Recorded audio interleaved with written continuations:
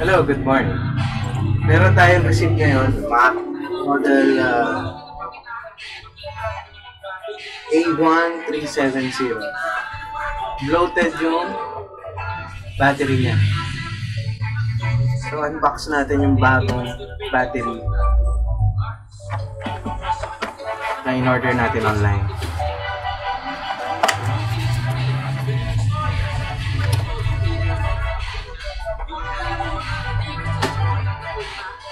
This thing will work. Ang maganda nito, meron pa siyang kasamang tools. Ito na.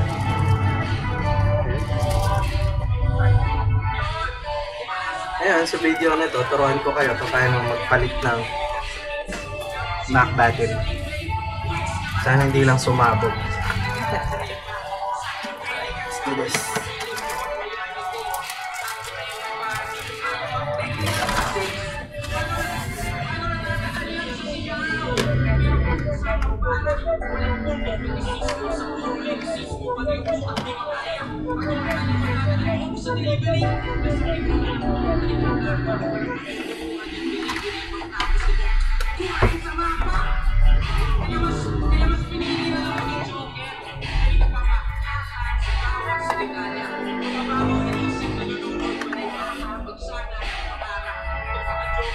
Okay,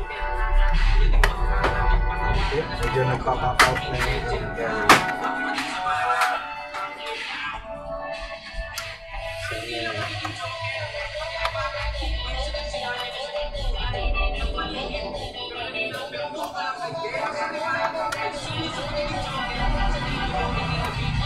Okay. Papansin nyo, nag-pop out na siya. Ayan. Okay.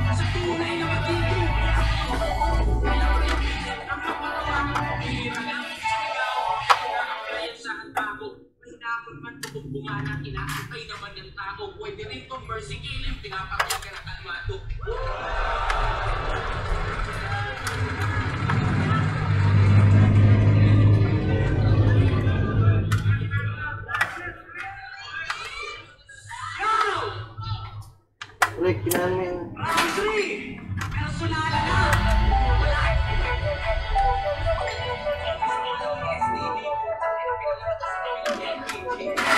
Okay, so yun. Meron tayong cell na bloated. No?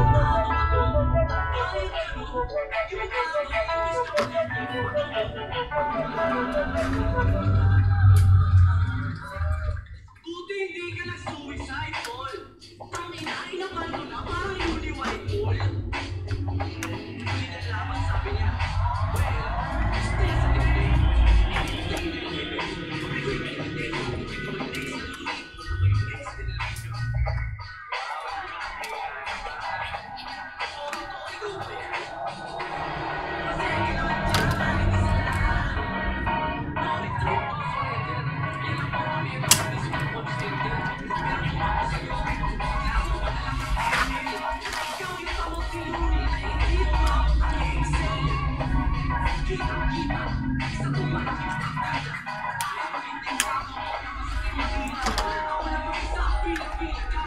So,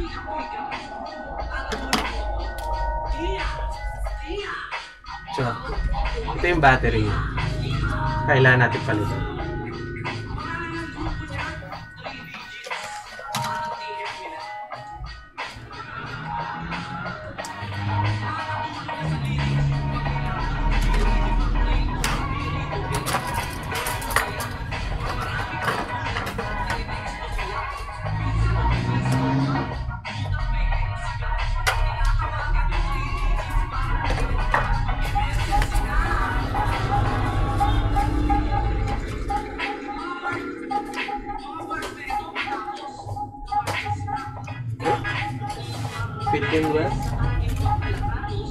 Bago natin ilagay yung terminal, kailangan ma-screw mo muna ng maayos yung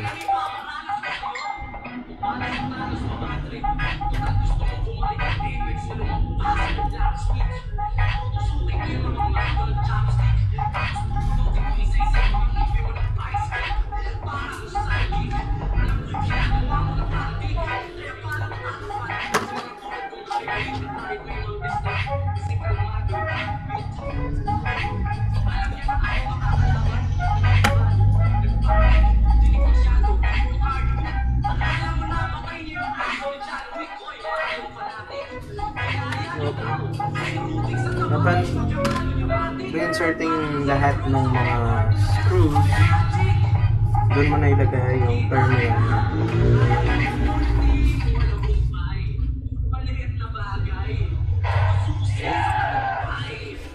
Try natin kung may pondo pa siya. Good work, friends. Okay.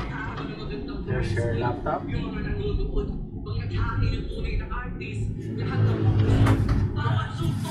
Ibig sabihin, working yung battery natin. And then, yung mga ganitong klaseng battery, i-dispose nyo ng maayos kasi nasusug ito yung mga pumuputok. Pag na-pinch mo yan,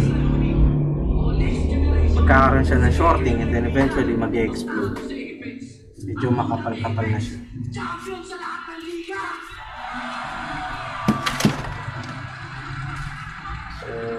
Ito na yung Mac natin. Tayin lang natin siya mag-boot and then shut down.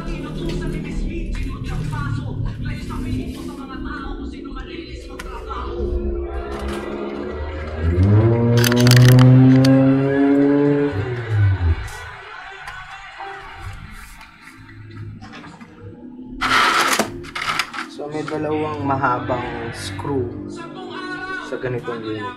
Ito yung nandito sa likod.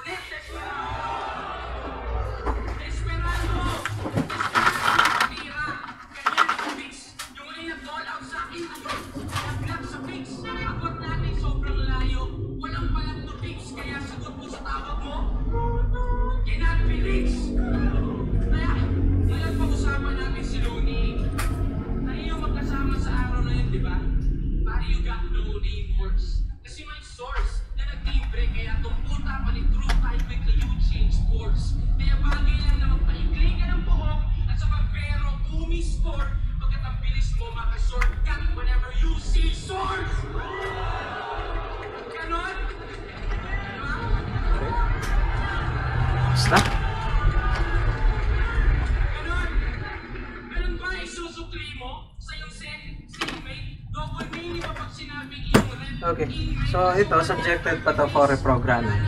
Kaya hindi na siya nagla-load ng Windows. Kaya, hope you like this video. Ganun lang po kadali magpalit. Thank you.